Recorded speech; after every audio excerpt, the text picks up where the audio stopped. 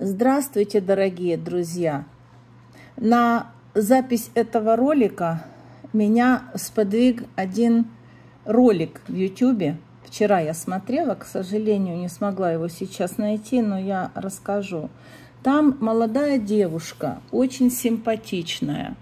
По мне тогда же красавица, полненькая, не толстая, не жирная, полненькая – идет по улице и танцует. Глазки светятся, она излучает счастье. И движения у нее очень пластичные. Вот я просто засмотрелась. А потом я стала смотреть отзывы. Там такое количество негатива, как она вообще посмела, она такая жирная, она 64 размера, если она не похудеет, она скоро будет танцевать сидя, у нее отвалятся сосуды, ей надо идти к психиатру. Слушайте, это какой-то кошмар. Перед вами картины Кустодиева.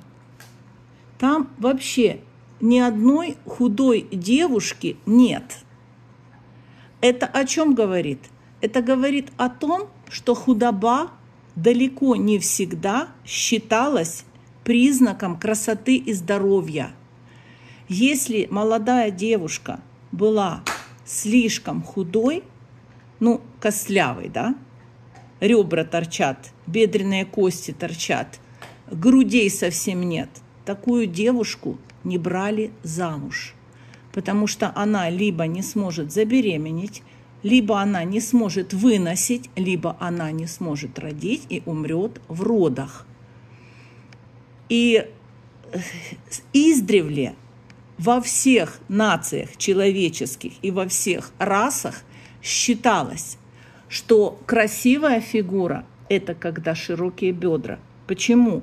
Потому что такая женщина сможет родить здорового ребенка и не одного. Это я вам показываю картины Кустодиева. Смотрите. И все они называются либо красавица, либо красивая барыня. Смотрите, ну ни одной нет худой, и все симпатичные.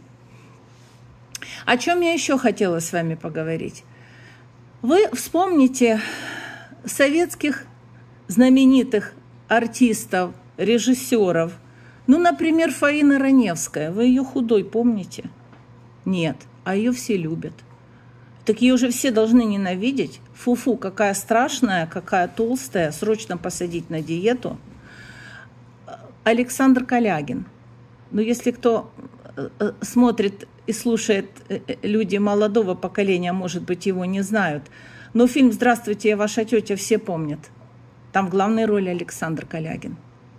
Он низенький, лысенький и толстенький. Вы себе можете этот фильм без него представить? Вы бы захотели смотреть этот фильм без Александра Калягина? И таких примеров очень много. Людей любят не за фигуру, не за лицо. Людей любят за их талант, за их доброту, за какие-то человеческие качества. Если вспомнить Эльдара Рязанова – Эльдар Рязанов – это знаменитый советский и российский режиссер. Его фильмы не стареют. Его фильмы смотрят до сих пор. Уже, уже, наверное, четвертое поколение начало смотреть. Так вот, чтобы вы знали, Эльдар Рязанов никогда не был стройным. Вообще никогда. В него были влюблены миллионы советских женщин. За что? За его талант – за его доброту, за его человеколюбие. Идем дальше. А дальше вспомните, подумайте о своих родных, самых-самых-самых близких. Мама, папа, бабушка, дедушка. Вы их любите за молодость, красоту и стройность? Должна вас разочаровать.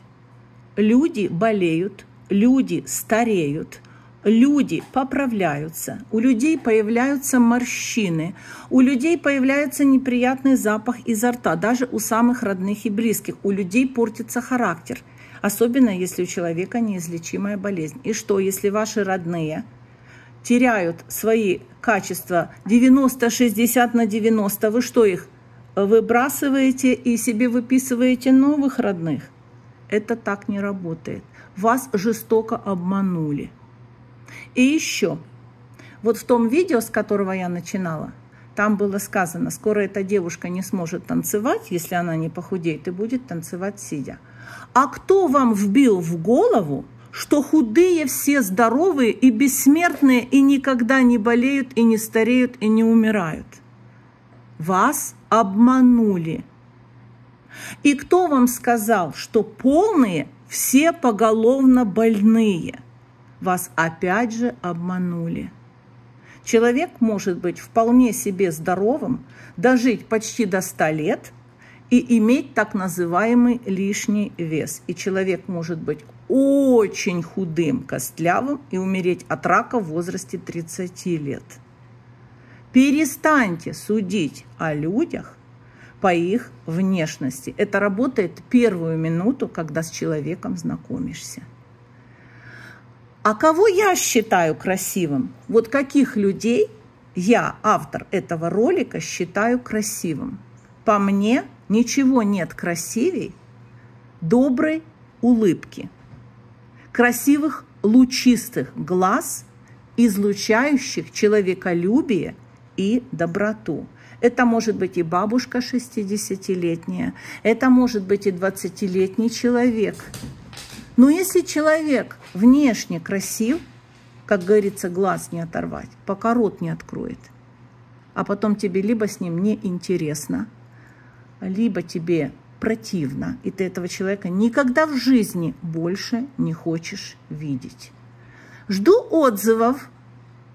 На сегодня все. Пока-пока.